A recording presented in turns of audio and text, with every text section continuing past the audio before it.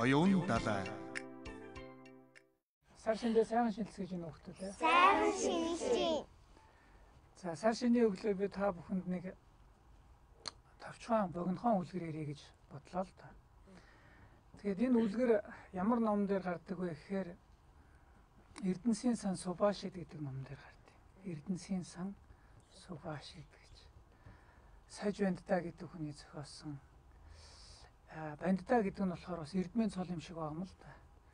Дорн дахинд заны ялангуяа бурхны ишинд их таван ухаан, баг таван ухаан гэж тоо тийм судалдаг юм салбар байдаг байж. Тэр их таван ухаан, баг таван ухааныг судалж үзсэн хүнд бандта гэдэг цол өгдөг байж. Тэгээ тэр үний зохиосон Эрдэнсийн сан Субашид гэдэг ном болохоор юм шүлгэлсэн ном л доо, шүлгэлсэн ном. Гэтэ шүлэг болгоно нь цаана агуулгатай зөв сайн байх талаар сургаж номлосон. Аа тэгээд тэр бадаг болгоныхаа арталт нэг богинохон жишээ авсан баг. Жишээ. А тэр жишээг нь тайлбарлаад хажуу талд нь нэг дэлгэрэнгүй үлгэр гардаг юм л да. А миний өнөөдөр иш татгаж байгаа тэр дөрвөн мөрт нь болохоор ийм байгаа мөхтүүд ээ. Асар их залийг хэтрүүл байс анхандаа болгоч хожимо өөрөө хорлогдох. Аргаар илжгэнд ирвсний айс нүмрүүлээд ардын тариаг идсэн ч хожимо харуулж өгсөн мэт гэж ийм дүрэн бадаг ном гарч байгаа юм л да. Тэгэхээр энийг тайлбарлаад хоёр үлгэр байд юм. За эхний үлгэр нь болохоор урд цагт нэг хүн өөрийнхөө илжгийг одоо их тарган цатгалан тижээхийн тулд өөрийнхөө тариаг харамлаад тэгээ бусдын тариаланд идүүлэхээр явуулж хэлдэг. Тэгэхээр идүүлэхээр явахдаа бас зүгээр илжиг явуучих юм бол хүн амт хөөч шүү дээ тийм ээ. Тэгэхээр гадуур нь юм ирвсийн арьс нөмрүүлж хагаад айлын тариал нь л оруулж. Тэгээ нөгөө илжгийн тариагаа идээд. Тэг хүмүүс өө том эрс эрс ороод иччихэл бүгдээрээ айгаад нөгөө илжгийг хөөхгүй нэг хоёр хонжилтэй. Тэгээ хоноод байж байж яснаа гиг үнэтгүй энэ тариа иддэг вирус гэж юм хаа байсан бэлээ. Энэ дэр нэг сэжигтэй болоо шүү. Тэгээ дахиж очиж шинжилгээ тарсан чи харин арьс нөмөр үлдсэн илчиг байхгүй. Тэгэхээр нөгөө вирусыг нь хараад алчиж гинэ гэж энэ богино хөвлөр гарч юм л. Тэгэхээр энэ өмнөх тэр номд гарч байгааг нь болохоор асар их залийг хэтрүүлвээс анхандаа болгоч хожимо өөрөө хорлогдох гэдгийг тайлбар бидний амьдралд тохиолдох юм бол маш олон тохиолдолд юмыг харгалах, хуурах, мэхлэх, заллах тэр даруйдаа би алдар нэртэй болчих болно.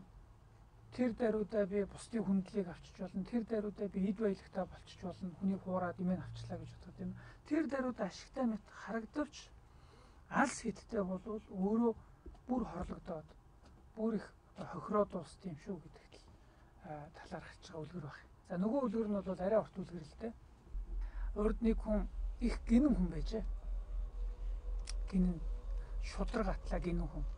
Тэр гинэн хүн ингээл хээр явж исэн чинь газар цөмөрч ороод эртний тийм одоо сан хөмөрг нээгдсэн байж л дээ. Сан хөмөрг гэхээр одоо эрт цагийн хаадын ч юм уу тийм хүмүүсийн юм хадгалж дарсан юм эрдэнэс, алт эрдэнэс он удаан жилийн дараа дээрээсээ амтын явсан ч юм уу цөмрөөд онгойцсон. Тэгээ тэр доогуур ингээ хаасан чи юм баахан шар төмөрнүүд ингээд байж байгаа юм гинэ. Тэгэхээр тэн дээрээс нэгийг авчаад өөрөө мэддгүй юм байж. Өөрөө алт эдийг таньж мэддэг. Тэгээд өөрийнхөө нэг найз дээр очиод их хэрсүү найз гинэ. Их залтай найз. Нөгөө зай найз дээр очиод үгүй найзаа энэ юу вэ чи хараад өгөөч гэсэн чинь пөөна чи алтан шүү дээ. Сул алтан. Чи наатаа хаанаас олсон юм бэ гэхээр би бүр нилээ ихийг оллоо хэр байх юм би боллоо. Хоёулаа хамтаа очиж хувааж авъя. А энэ үнэхээр алт мөн болвол энэс нэг тулам хэраатай байна.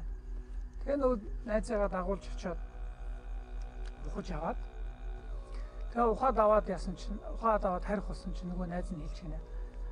Угаа хоёулаа өдрийн цагаар тосгондоо очих юм бол хүн амтан юу болов яав ив гэд мэдээд димий. А хоёулаа энийг шүн авчирч авъя Одоо шүн болтол хуйлаа харин яах вэ гэхээр энийг нэг модны оролт булаад нуучаа гэж хэлж. Хэрсүү найзынхаа эснэр модны доотлол тухайд талт хийчихэд хуйлаа тосгондоо очиод амарчалтай. амарчаа хооронд дур нөгөө найз нь буцаж гарч ирээд ганцаараа нөгөө найзыгаа байхгүй хооронд бүх алтыг нь өөрөө цүлэмж хулгайлж авчаад гэртээ очиж. Орой болоод хоёулаа алтаа авахар болоод хүрээд ирээд ухаад гараад ир. Усан чинь нөгөө зэн алт байдаг. Тэгээд нүг энэ найз нь хэлж гинэ. Гүй энэ алт одоо яаваа гэдгсэн чинь хэрсүү найз нь хэлж гинэ. Энд алт байгааг юусоо хоёр хүн мэднэ. Тэр хэрсүү найз гэдэг нь улгаач юу те. Энэ алт байгааг хоёр хүн мэднэ. Тэгэхээр би ааваг үлэхээр чи л авсан байж таа. Чи намайг нэхлээ тусганд хөрөнгөтлөө өөрөө үрчээл алтаа авсан байж таа гэж хэлж. Өөрөө алтыг авчаад тэгээд харин нөгөө төлөвөө бухаж хийсэн юм айлж чи авсан байна. Яалаа гэж те би хэрвээ ганцаар авах байсан бол анханасаа юу чамд хэлэх вүлээд би аваагүй гэж хэлж. Тэгсэн чинь нөгөө чи авсан. Ерөөсө заргалдээ. Хаанд очиж шүүлгээгээд хэлж гинэ. Тийм ба. Өөрөө авцсан атал, өөрөө хулгайлцсан атал.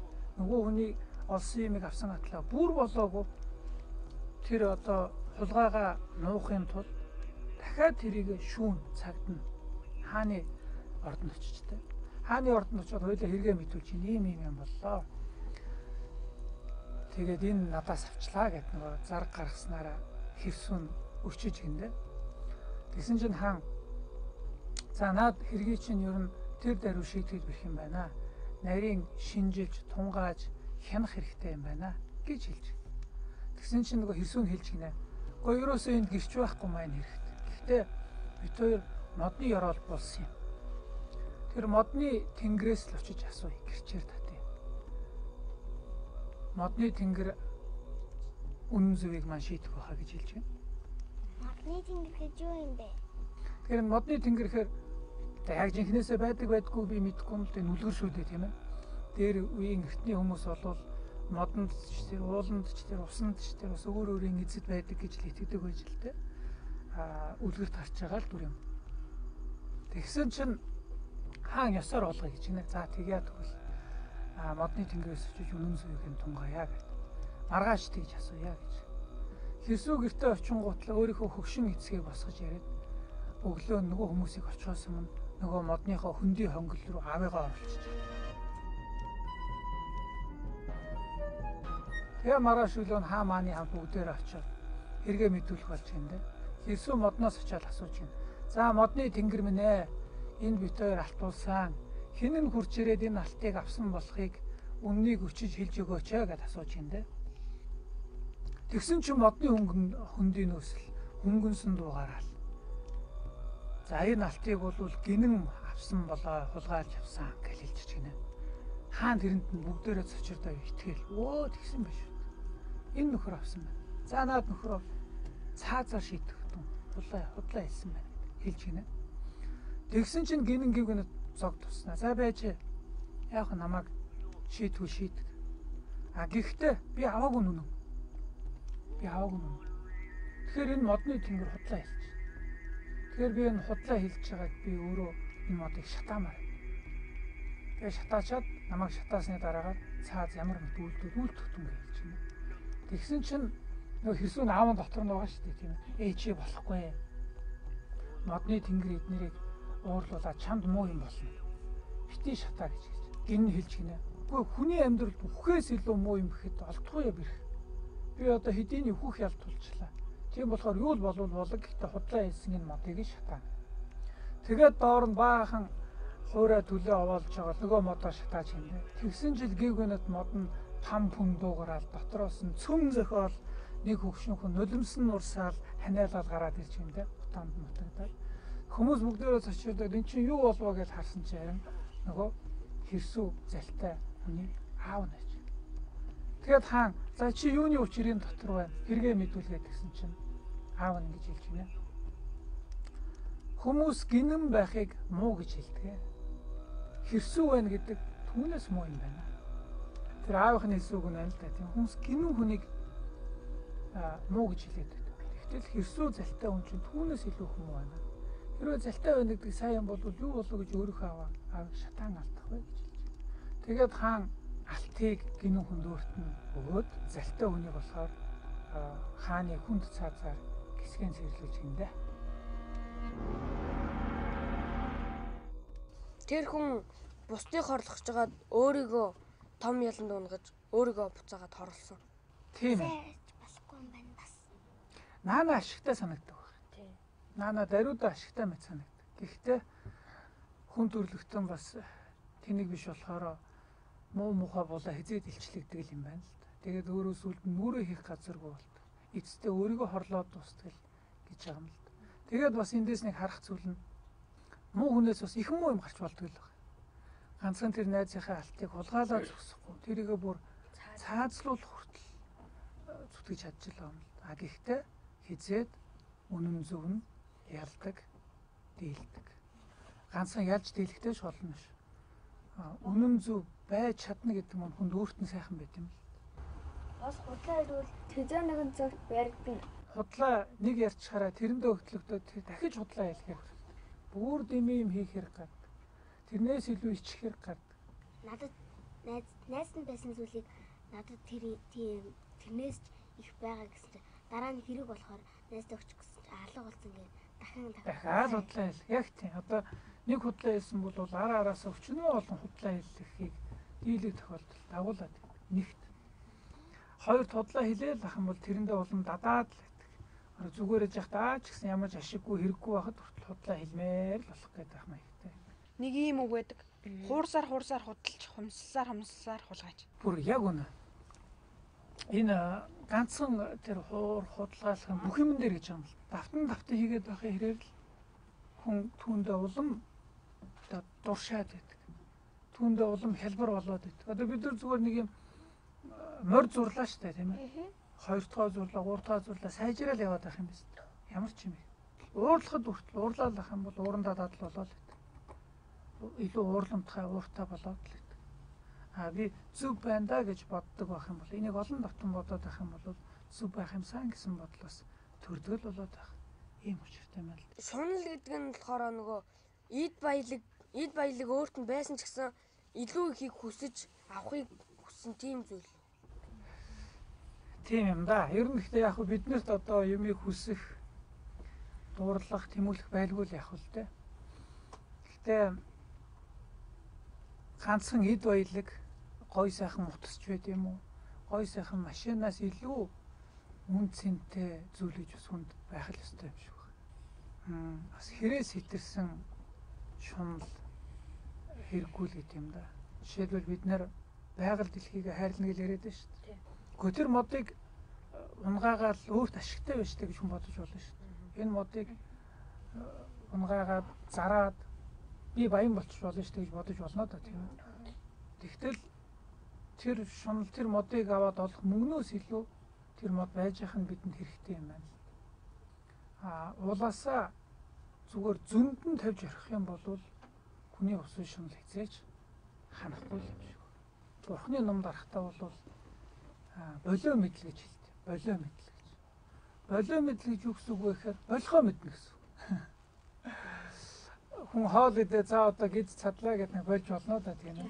Тэрэн шиг эд баялаг шундаа шунлаа гэд хүний нас хэдий ирүүлээ, хэдий чиглэх зүйл хэдий ирүүлээ бас тэрийг бодож явах хэрэгтэй л гэдэг юм да.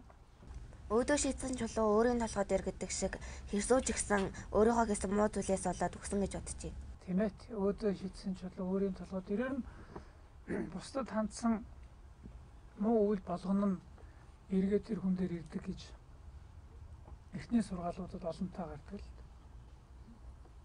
А энэ нь эргээд бас юуг харуулж гэх юм бол бидний а, ирээдүй бидний өөрийн гарт байна гэсэн. үг. Бид нэр хичээнгүй эрдэм мэдлэгтэй зүтгэлтэй байж чадах юм бол бусдыг хайрж инэрч чадах юм бол амар амгалан биднэрт хүрээд байна гэсэн. Бас Сиот нэг үг мэдх юм байна. А буруу замаар будаа тэвэл буцахтаа шороо тань гэдэг үг би мэднэ. Яг үнийг хэлэхэд муу мухай юм хийгээд байгаа хүмүүс хүртэл жарах гээд л яваад.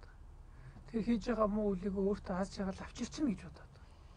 Тэгтэл үнэндээ биднээс муу мухай юм болгон аз жаргалын орон зовлон зүдгүүрийг бидэнд авчирдаг байх юм л да. Тэгэхээр энэ нэг эртний сургаалуудад энийг юу гэж тайлбарсан байдаг вэ? Авах орхихын одоо ухаан, авах орхихын шестер гэдэг. Авах өрхөх гэдэг маань юуг бид нэр авах хэрэгжүүлэх ёстой юм. Ямар үлийг төвчж орхих ёстой юм бэ? Энийг ялгаж салгаж мэдэх ёстой. Учиртай гэдэг юм л. Бид нар бүгдээрээ жаргах гэдэг. Зарим хүмүүс магадгүй а, худал хэлээд өөрөө жаргачна гэж боддог. Сая хэрсүү бол хулгай хийгээд өөрийгөө жаргачна гэж бодсон чинь тэр хулгай хийсэн цам нь өөрийг жаргах биш. Харин ам насыг нь хүртэл авах. Муу үрдэн авчир авчирч байна шүү. Санаамууд явахт нь сарсан баг байхаа наран татна. Тий, тий, санаамууд яваа. Сэрсэн баг байхаа наран татна гэдэг. Муу хүн бие отно, муухар явдал бие хорлно. Энэ зүйл цэцүүхтэй бас адилхан юм байна. Ер нь зүгээр ганцхан энэ Монгол ардын үлгэрдэж байгаа биш. Улс үндэстэн болгоны одоо өдийг хүртэл тээж ирсэн сургаал, үлгэр, зүүр зүцэн үг болгон уулна хүн төрлөختөн бидэнд бие бинийгээ хайрлахыг, зөв шударга явахыг сургаж засаар л байгаа юм л. Үлгэр гэдэг нь болохоор зүгээр чи зөв бай гэд ганцхан хэлчих биш. Тэрэн дээр нь бидэнд нүдэнд үзэгдэхээр тийм жишээнүүдийг авч хэлхийг л үлгэр гэж хэлээд. Надад дөрөв мөрч сургаал их таалагдсан. Та тэрийг дахиад нэг хэлээд өгөхгүй юу? Тийм энэ сургаал нэг чухал шүү. Үлгэр нь бол тэрийг тодтогч өгч байгаа бол учиртай юм л да. Энэ сургаал нь бол олон зуун жилийн өмнө бичигдсэн а, ёс суртахууны сургаал юм байна.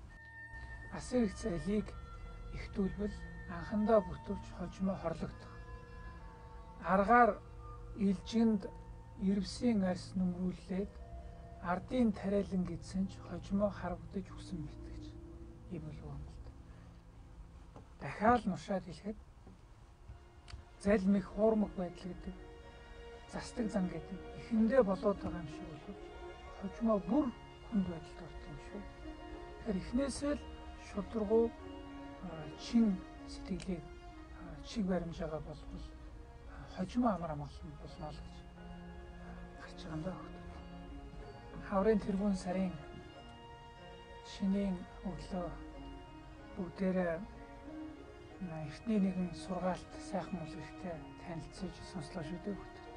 Эртний уламжлал өв соёлтойгоо танилцаарай. Хүн болох сургаал номлолыг ухаж ирэх сууж тунгаагаарай. Аа тэгээ сар шиндээ сайхан шинэлцгээе. Баярлалаа.